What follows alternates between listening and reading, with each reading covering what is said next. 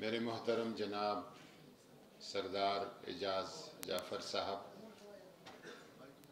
Federal secretary वजारत मजहबी अमूर व बैनमज़ाहब हम आहंगी मोहतरम जनाब लामा मौलाना सैयद अब्दुल खबीर आज़ाद साहब, चेयरमैन मरकज़ी रोत हलाल कमेटी, मोहतरम तारक ज़ुबैर ख़ान जॉइंट सेक्रटरी वजारत मजहबी अमूर और बैन बैनमज़ाहब हम आहंगी यहाँ पे स्टेज पर तशरीफ़ रखने वाले, पंडाल में तशरीफ़ रखने वाले तमाम अहल इलम, अहल दानिश, मुसलमान, हिंदू, मसीही, सिख, पारसी, बिहाई, सुन्नी, शिया, तमाम कम्युनिटीज़ की नुमाइंदगी करने वाले जुआमा, ख़वातीन हज़रात, सबको असलकम वरहमल वर्का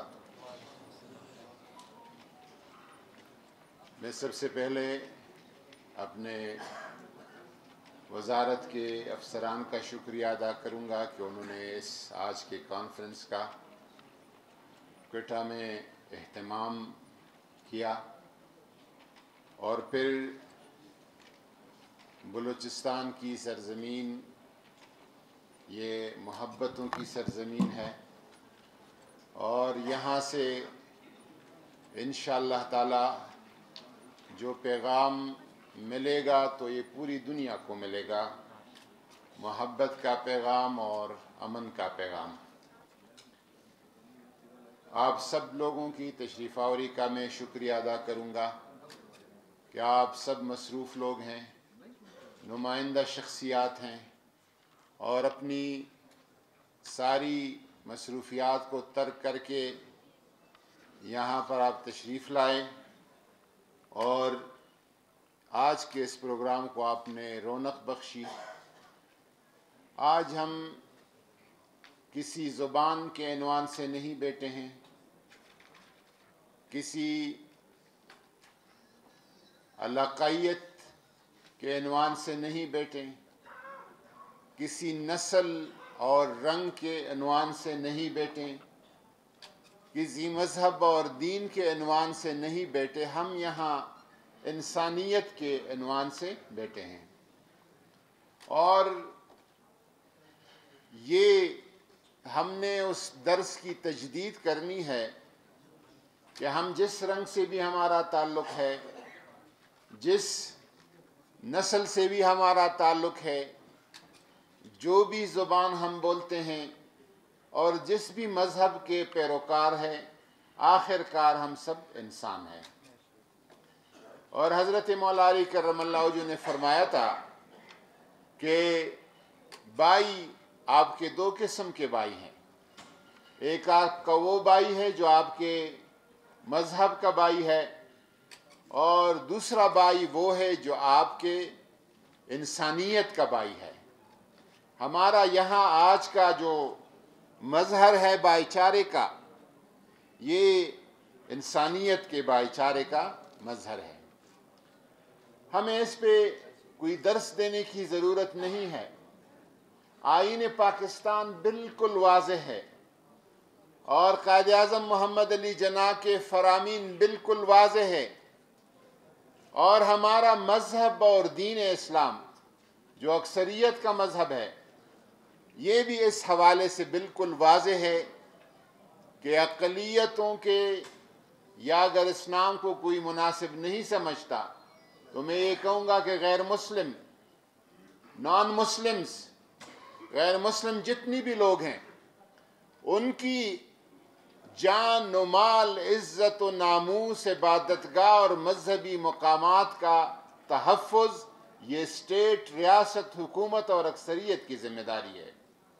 इसमें कोई शक व शुबा की ज़रूरत नहीं। कराम बैठे हैं, मैं इनके सामने बिल्कुल बेमाया हूँ बेलम हूँ।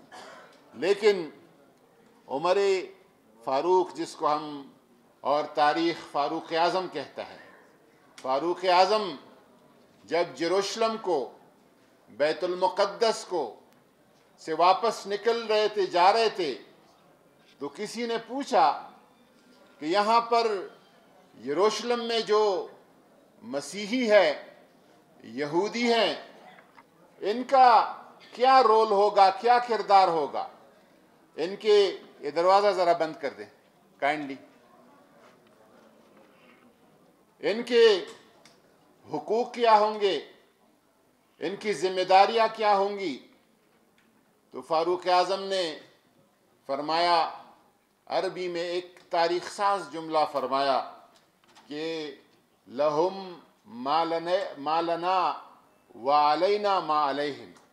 इनको वो सारे हकूक़ हासिल है जो हमें हासिल है और उन पर वो सारी जिम्मेदारियाँ आयद हैं जो हम पे जहायद हैं। रियासत के अंदर ये तफरक़ा मज़हब के बुनियाद पर। आज अगर रिलीजस फ्रीडम का कोई बात करता है तो ये बात मेरे दीन ने और नबी करीम वसल्लम ने चौदह सौ, पंद्रह सौ साल पहले ये बात वाज कर दी है। उनके खलफा राशिदीन ने वाज कर दी है। और यही रहा है कि मुसलमान माशरों में हमेशा वहाँ के गैर मुस्लिम कम्युनिटीज़ इज़्ज़त के साथ रहे हैं, एहतराम के साथ रहे हैं। मैं पिछले साल गालिबा साल कोविड से पहले काहिरा में था, उधर एक कॉन्फ्रेंस थी।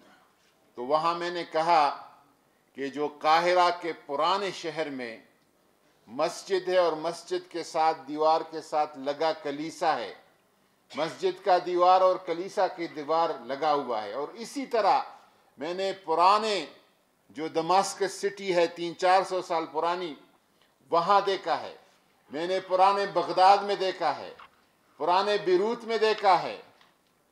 मैंने कहा यह हमारे लिए आर की बात नहीं, हमारे लिए फ़ख्र की बात है कि हम में जितना फराखदिली मौजूद है कि हम अपने इबादतगाह के साथ किसी दूसरी मज़हब के इबादतगाह को कबूल करते हैं और बर्दाश्त करते हैं। ये वो सबक है जो हमें बताया गया है और दिखाया और हमेशा मुस्लिम माशरों में। मैं एक दो तारीखी बातें बताना ज़रूरी समझता हूँ कि एक तो ये कि जब जंग अज़ीम ख़त्म हो गया, दूसरा जंग अज़ीम और जंग अज़ीम के दर, दरमियान जो नाजियों ने यहूदियों के साथ सलूक किया इंतहाई मुतशदाना इंतहाई बहमाना इंतहाई गैर इंसानी तो उसके बाद के यहूदियों ने बहुत सारे यहूदी लीडरशिप ने कहा कि काश हम उस्मानी खिलाफत में होते तो हमारा इस तरह बेदर्दी से खून न बहता। उन्होंने ये माना, तस्लीम किया कि अगर हम उस्मानी खिलाफत का हिस्सा होते तो हम महफूज रहते।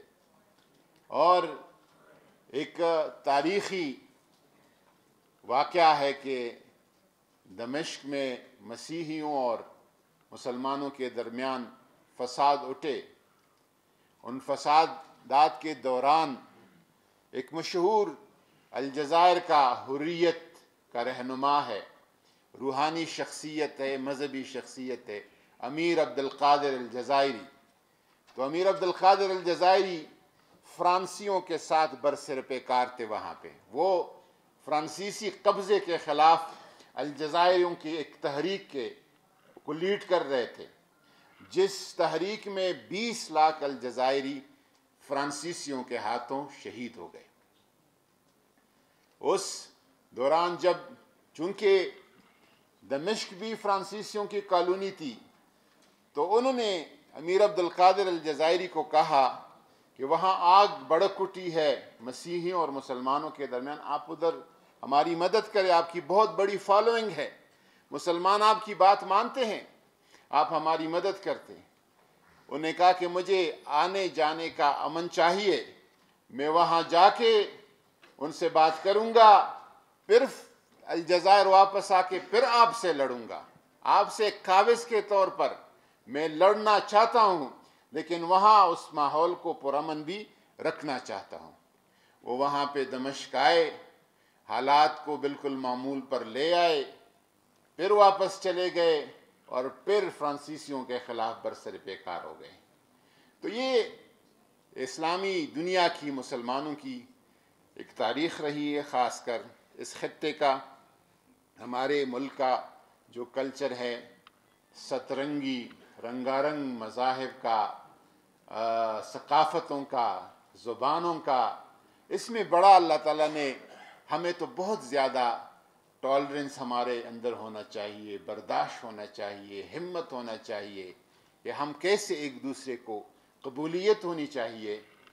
आ, इस पैगाम को न सिर्फ़ ये कि हम फाइव स्टार होटल में बात कहें क्योंकि हमको महराब के अंदर भी करना चाहिए, मेंबर से भी करना चाहिए, मस्जिद से भी करना चाहिए मम्बारगाह से भी करना चाहिए, खानका से भी करना चाहिए, गिरदिश, गिरजे से भी होना चाहिए पैगाम मंदिर से भी होना चाहिए, गुरुद्वारे से भी होना चाहिए, हर जगह से ये पैगाम जाना चाहिए कि हम यहाँ इंसान हैं और पाकिस्तानी हैं और एक दूसरे के भाई भाई हैं। ये पैगाम देने की ज़रूरत है और हमारे इस कॉन्फ्रेंस का मौजू यही पैगाम देना है और यहाँ, यही पैगाम पहुँचाना है। मैं एक गुजारिश करूँ कि यहाँ पर मैं बतौर एक पॉलिटिकल एनालिस्ट तजियाकार, मैं देखता हूँ आसपास की दुनिया को, लेकिन यकीन जाने कि इस रीजन में बतौर ख़ास पाकिस्तान की जो पॉलिसियाँ और इकदाम है, हमारे शर्क गर्ब दोनों तरफ़ देखें, हमारे पड़ोस में हैं देखें, वहाँ मुसलमानों के साथ क्या सलूक हो रहा है? वहाँ मसीहियों के साथ क्या सलूक हो रहा है? वहाँ दलतों के साथ क्या सलूक हो रहा है? अल्हम्दुलिल्लाह, पाकिस्तान में आज भी वो माहौल नहीं है। हमारे दुख हैं, सुन्नी शिया के हज़ार, हज़ारा और नान हज़ारा के हज़ारा बिरार मौसवी साहब आपके दुखों में हम शरीक रहे हैं और शरीक रहेंगे। और जो आपकी जद्दोजहद है, उस जद्दोजहद में आपके साथ होंगे। और मैं बाकी गैर मुस्लिम दोस्तों को कहूँ कि हमारे साथ मेरे अपने ख़ानदान में शहादतें हुई हैं। तो मुझे तो इसलिए नहीं शहीद किया गया था कि मैं हिंदू था या क्रिश्चियन था या सिख था। और इस वजह से भी नहीं कि मैं शिया था सुन्नियों ने किया, मुसलमानों ने किया, अपने ज़ुबानी बोलने वालों ने किया। लेकिन ये हमारे दुख हैं, हमारे तकालीफ है और इसका हमने मिलकर, इकट्ठे होकर और सीसा पिलाई, दीवार बनकर इसका मुकाबला करना है। पाकिस्तान की बतौर रियासत, मैं मैं बबांग दुहल कहूँगा कि बतौर रियासत, बतौर निज़ाम, बतौर आइन बतौर हुकूमत पाकिस्तान की पॉलिसी जो है अकलीतों के लिए मोहब्बत की है, अमन की है और सलामती की है। और इन ये रहेगी। बाकी हमारे क्रिश्चियन मसीही बरदरी की पादरी साहब ने कहा, अमानत मसीह साहब ने, कि हमारी आबादी कम हो गई है। इसमें आपका कोई कसूर नहीं है। हमारी आबादी बहुत बढ़ रही है, हमारा कसूर है मुसलमानों का। आप अपने हिसाब से रोशे से टीक जा रहे हैं। हम जो है, अपने रेशो से कुछ ज़्यादा जा रहे हैं और मैं उलमा से गुजारिश करूँगा कि ये भी एक पॉइंट है। शरीयत के हुक्म के अंदर अंदर हम उसको किस तरह एक एक तरीक़ाकार इसका बना सकते हैं कि और मुसलमानों की सिर्फ़ इधर हालत नहीं है, जो अभी इस्लामोफोबिया के नाम पर एक वावेला गर्म है, उस दिन मैंने एक तजिया पढ़ा और उस पर वाकई मुझे भी कि तकरीबन अगले छः दस साल में बेल्जियम जो है, वो मुस्लिम अक्सरियती मुल्क बन जाएगा। क्योंकि मुसलमानों की आबादी बढ़ रही है और उस तरफ़ दूसरे साइड के लोग जो है, शादियाँ कर रहे हैं। न नस्ल बढ़ा रहे हैं। और 1940 2040 में फ्रांस जो है, वो भी मुस्लिम अक्सरियती मुल्क बन जाएगा अगर इस तरह आबादी बढ़ती जा रही है। तो इसमें आपका मसीहियों का या हिंदू बिरादरी का आपका कोई आप ठीक जा रहे हैं, हम गलत जा रहे हैं, हम ज़्यादा बढ़ा रहे हैं। तो इसको कराम की मदद से इन ताला हम कोई तरीक़ाकार और इस तरह के जिस तरह जिस तरीक़ेकार को ईरान ने अपनाया है सऊदी अरब ने अपनाया है मिस्र ने अपनाया है तुर्की ने अपनाया है उसी रस्ते पे इन ताला उसका कोई हल निकालेंगे। आ, मैं इन अल्फाज के साथ आप सबका शुक्रिया अदा करता हूँ। बतौर ख़ास में हमारी बहुत ही मेहरबान मोहतरम आसिया मसीह साहबा आप हमारे साथ पार्लियामेंट में पिछले अदवार में हमारे साथ रही और कलियतों के हवाले से आपका बहुत, आपकी बहुत बड़ी खदमात हैं। यहाँ पे तमाम सियासी जमातों के लोग हैं। सुन्नी बरदरी का, शिया बरदरी के, अहल हदीस फ़िक्र के जमीतलमा इस्लाम के, जमात इस्लामी के, जमात सुन्नत के, जितने भी लोग तशरीफ़ लाए हैं, मैं सबको शुक्रिया अदा करूँगा। वाखिर दावाना अलहमदिल्ला रबीआलमी